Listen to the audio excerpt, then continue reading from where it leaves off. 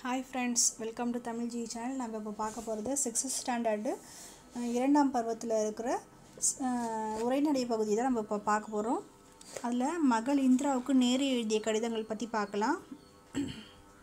நமது இந்திய நாட்டின் விடுதலைக்காக பாடுபட்ட தலைவர்களில் ஜவஹர்லால் நேருவும் ஒருத்தவர்னு சொல்கிறாங்க இவர் வந்து முதன்மை அமைச்சராக பொறுப்பேற்றிருக்கிறாரு. எப்போன்னா நம்மளுடைய வி- நாடு விடுதலை பெற்ற பிறகு முதன்மை அமைச்சராக இவர் வந்து பொறுப்பேற்றிருக்கிறாரு. அதுக்கப்புறம் பார்த்தோன்னா இவருடைய பொண்ணு தான் வந்து யாருன்னா நம்மளுடைய இந்திரா காந்தி.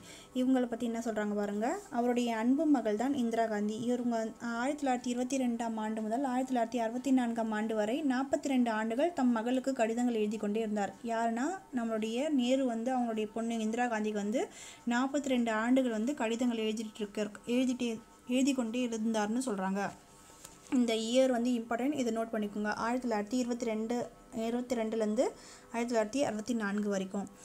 அதுக்கப்புறம் பாருங்கள் நேரு வெளிநாட்டுக்கு சென்ற பொழுதும் இந்தியாவில் இருந்த பொழுதும் மகளுக்கு கடிதங்கள் எழுதினார். சிறைசாலையில் அடைக்கப்பட்ட பொழுதும் கூட அவர் கடிதங்கள் எழுதுவதை நிறுத்தவே இல்லை.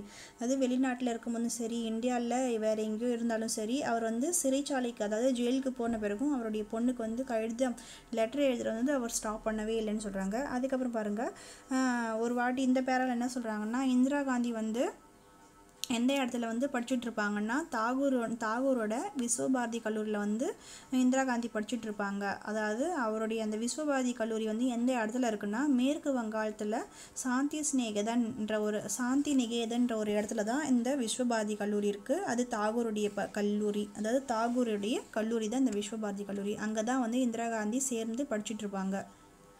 ஸோ அந்த டைம் தான் இந்த லெட்டரிங் லெட்டருடைய லெட்டருடைய பகுதின்னு சொல்லுவாங்க. அந்த அந்த கடிதத்துடைய பகுதி வந்து இந்த இடத்துல தான் தந்துருக்காங்க.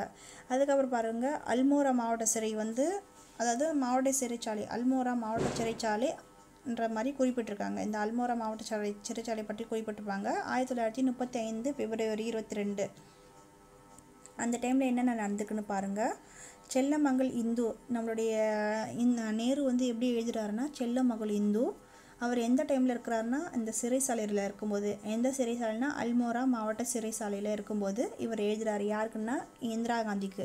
சிறைச்சாலையின் நல நான் நலமாக இருக்கிறேன். கிருபாலினியின் உதவியுடன் படிக்க வேண்டிய பாடங்களை நீ முடித்து விட்டாய்.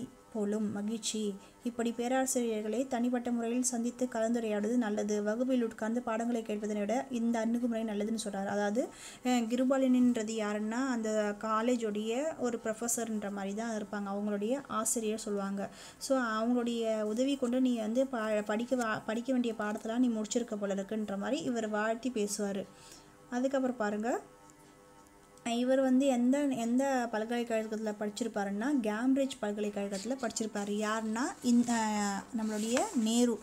கேம்பிரிட்ஜ் பல்கலைக்கழகத்தில் நான் படிக்கும் பொழுது அதுதான் நிலைமை அதுதான் நிலைமை. அதுதான் நிலைமை வகுப்பறையில் நடக்கும் உரையாடல் உடைய உரையாடல்களுக்கு நாங்கள் பெரிய முக்கியத்துவம் கொடுக்க மாட்டோம். ஆசிரியர்களை தனியாக க சந்தித்து உரையாடுவோம். அந்த உரையாடல் எங்கள் வளர்ச்சிக்கு பெரிதும் பயனுடையதாக இருந்தது. அதாவது அந்த பேராலே என்ன சொல்லியிருப்பாங்கன்னா த கிளாஸில் நடத்துகிறதோட நீங்கள் வந்து கிளாஸில் கான்வர்சேஷன் பண்ணுறதோட ஆசிரியர்கிட்ட வந்து அதாவது டீச்சர்ஸ் கிட்ட வந்து தனியாக பேசி நிறைய விஷயத்த தெரிஞ்சுக்கலான்னு சொல்லுவாங்க. ஸோ அந்த இடத்த தான் இந்த பேரால இதை தான் சொல்லியிருப்பாங்க. அதே மாதிரி தான் அவரும் செய்வாருன்றதை சொல்லுவார். அதாவது கேம்ப் கேம்பிரிட்ஜ் பல்கலைக்கழகத்தில் அவர் படிக்கும்போது அந்த மாதிரி விஷயத்தை தான் இவரும் செய்வார் சொல்வார். அந்த மாதிரி விஷயம் அந்த மாதிரி உரையாடல் தான் வந்து அந்த மாதிரி கான்வர்சேஷன் தான் வந்து வளர்ச்சிக்கு பெரிதும் பயனுடையதாக இருக்கும்னு சொல்கிறாங்க அதுக்கப்புறம் பாருங்கள் இந்த செகண்ட் பேரில் என்ன கொடுத்துருக்காங்கன்னா நீ படிக்கும் சாந்தி சாந்தி நிகேதனில் இத்தகைய நடைமுறை இருக்கிறதா?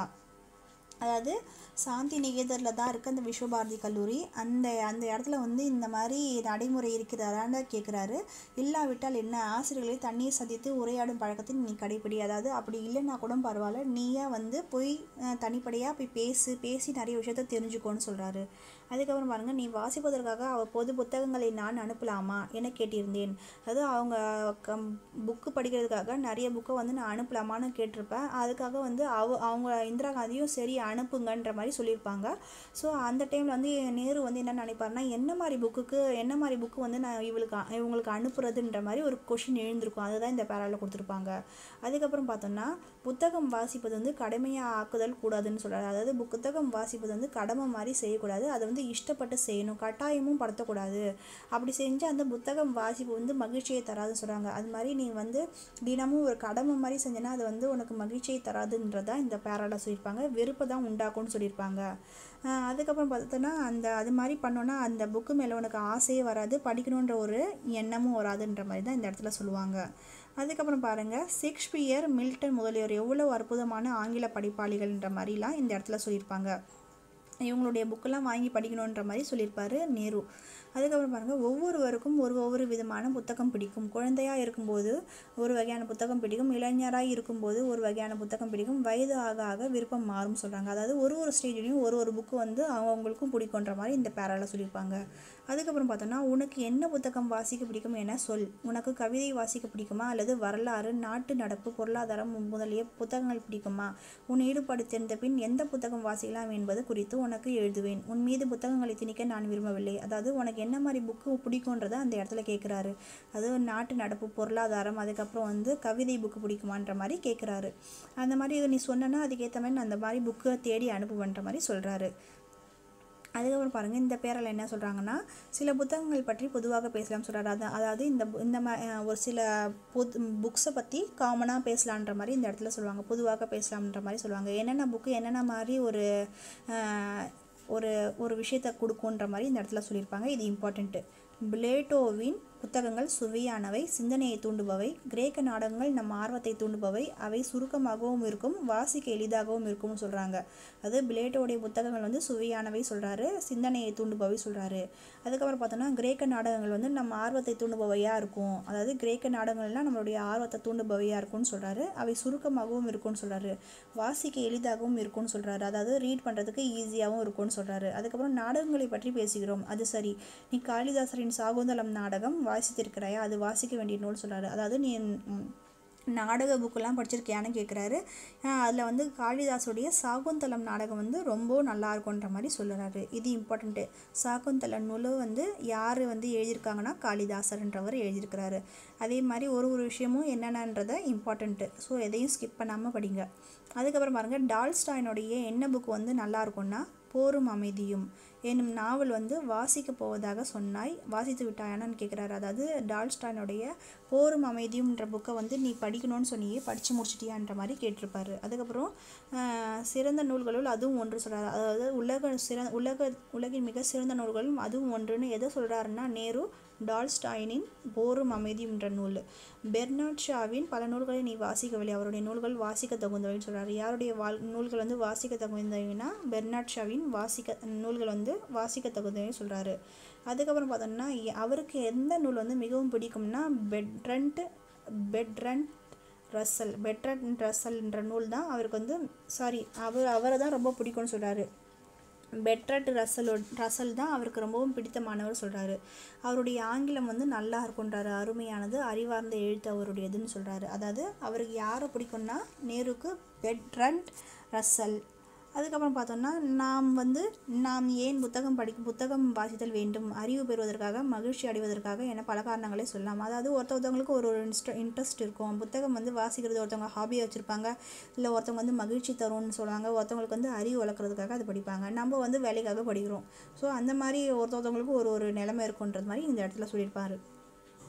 அது மாதிரி எல்லா இந்த மா இந்தந்த இந்தந்த பர்சன் இந்தந்த மாதிரி இருக்குன்ற மாதிரி இந்த இடத்துல சொல்லியிருப்பாங்க. இதில் வந்து இம்பார்ட்டண்ட் என்னென்னா எனக்கு மிகவும் பிடித்தமான பெட்ரண்ட் ரசல் அதுக்கப்புறம் இந்த டால்ஸ்டாயினின் போரும் அமைதியும் வந்து உலக உலகின் மிக சிறந்த நூல்களில் அதுவும் ஒன்றுன்னு சொல்கிறாரு காளிதாசருடைய சாகுந்தலம் நாடகம் வந்து இம்பார்ட்டண்ட்டு பிளேட்டோது அதுக்கப்புறம் வந்து கிரேக்க நாடகங்கள். இதெல்லாம் யார் யார் என்னென்னதை இந்த இடத்துல பார்க்கலாம். கேம்பிரிட்ஜில் வந்து இந்த ஸோ இந்த இந்த பகுதியை வந்து நல்லா பார்த்துக்கோங்க. ஏன்னா இதுலேருந்து கண்டிப்பாக கொஷின் கேட்கப்படலாம். கேம்பிரிட்ஜுன்றது என்னென்னா இந்த இங்கிலாந்தில் உள்ள பல்கலைக்கழகம். இந்த இங்கிலாந்தில் உள்ள பல்கலைக்கழகத்தில் தான் நேரு போய் படிச்சிருக்கிறாரு. ஷேக்ஸ்பியர் வந்து யாருன்னா ஆங்கில நாடக ஆசிரியர் மில்டன் வந்து ஆங்கில கவிஞர் பிளேட்டோ வந்து கிரேக்க சிந்தனையாளர் காளிதாசர் வந்து வடமொழி நாடக ஆசிரியர் அதுக்கப்புறம் பார்த்தோன்னா டால்ஸ்டாய் வந்து ரஷ்ய நாட்டு எழுத்தாளர் பெர்னாட் ஷா வந்து ஆங்கில நாடக ஆசிரியர். பெட்ரண்ட் ரசல் வந்து சிந்தனையாளர் கல்வியாளர். இவர் தான் நமக்கு நேருக்கு பிடித்த மாணவர் சொல்கிறாங்க அல்மோரா சிறை வந்து எங்கே இருக்குன்னா உத்தராஞ்சல் மாநிலத்தில் இருக்குன்னு சொல்கிறாங்க அதாவது அல்மோரா சிறையிலேருந்து தான் இவர் வந்து இந்த கடிதமே எழுதுவார் நேரு. ஸோ அந்த அல்மோரா சிறை எங்கே இருக்குன்னா உத்தராஞ்சல் மாநிலத்தில் இருக்குன்னு சொல்கிறாங்க கிருபாலினி யாருன்னா அவருடைய உதவியில் தான் வந்து நம்மளுடைய இந்திரா காந்தி படிப்பாங்க. ஸோ அந்த கிருபாலினின்றவர் யாருன்னா விஸ்வபாரதியில் பணிபுரிந்த பேராசிரியர். இது இதெல்லாம் இதெல்லாம் தான் இந்த பாடப்பகுதியில் இருக்க இம்பார்ட்டண்ட் ஒன்று ஸோ இதெல்லாம் பார்த்து வச்சிட்டிங்கன்னா ஈஸியாக இருக்கும். உங்களுக்கு இந்த வீடியோ பிடிச்சிருந்தா மறக்காமல் லைக் பண்ணுங்கள் ஷேர் பண்ணுங்கள் கமெண்ட் பண்ணுங்கள் தேங்க்யூ ஃப்ரெண்ட்ஸ் வாட்சிங் திஸ் வீடியோ